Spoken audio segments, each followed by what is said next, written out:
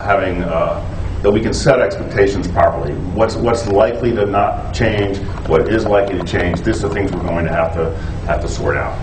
And then uh, Simka sent us all an email this morning uh, raising this this point again that the, the story is not going to be over uh, once we uh, relieve the uh, the large uh, obstructions in the jugulars and azygos veins.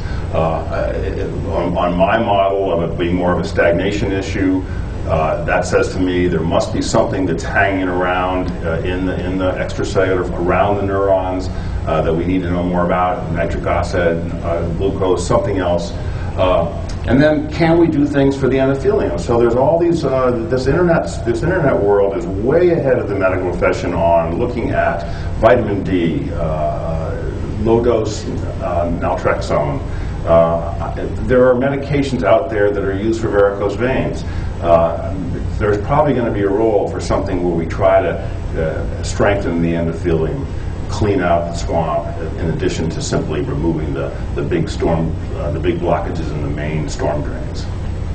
Uh, and then, you know, there's something going on with the genetics so that, that, is, that we, we, we have to kind of sort out what's going on there. I, I, uh, I didn't tell Mark this, but I ran my wife and daughter as normals. Neither one was normal. Uh, and they all had exactly the same finding. My son was much more severe. It was the same side, same location. Uh, so uh, that's going to be. They also. They both of them have severe fatigue. So they don't have MS. They don't have uh, uh, gadolinium-enhancing lesions or neurological symptoms. But they did not have normal studies. Uh, so getting more normals is, is critical. It's tough because it's hard to, for me, it's hard to convince a normal to give them gadolinium. You know, that's a, it's a lot to ask of, of a friend. Uh, Mark, when you come in September, you can be a normal subject. I'm definitely a normal subject. Um, But, but this is an interesting point, because remember Zivadinov study, they did 500 cases, and I I can't it was 250 normals and 250 MS patients. And that was Doppler, wasn't it? And uh, well, they did MR2. Uh, but it wasn't the Haacke protocol, right? Not completely. But um, basically, what they, they claimed was they found 22% of the normals appeared to have the Zamboni criteria. Well, it turns out that they used age-matched relatives of the MS people. So, in fact, you know, I, I don't say this negatively, but they were criticized because they did that. And from what you're saying, if this is genetic, or even if it's a 20%, it might explain why Zamboni found 0%, because he didn't use relatives of those people when he did his normal.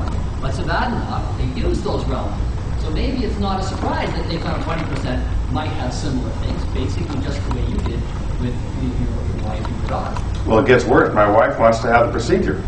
So I said, I am not going to tell my IR who I dragged into this mess. I sort of snuck it on. You know, and now he turns out he's a friend of Dake's, so he was not totally ambushed by me, but I was trying to ambush him, right? I was trying to get him to do my son, and then I got him on the IRB sort of before the politics really went crazy. Uh, and now he's totally happy he's doing it. Uh, you know, he's happy. All these IRs, all IRs are loving this, right? Their last cool disease was uh, was hysterectomy, was was uh, uterine fibroids, you know, and, which was uh, Dr. Sclafani's last uh, last winning war.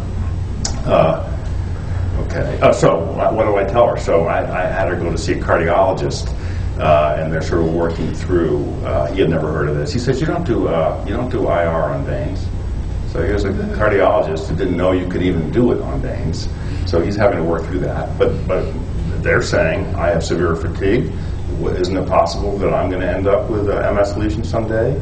Uh, so I think fatigue is going to be the final battlefield here. Uh, it's not going to end with MS. What if it turns out fatigue is not a psychiatric symptom? Right?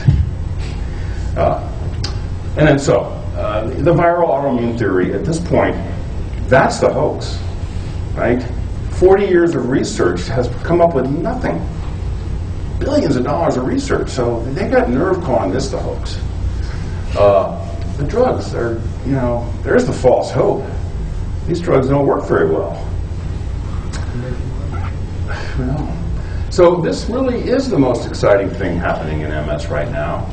And the neurologists are on the sidelines for reasons that I still don't really understand.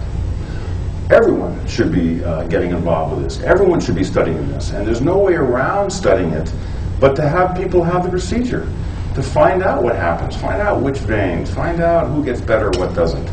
Uh, everyone should be risking false hope, risking letting people uh, go in there and, uh, uh, and, and not be helped.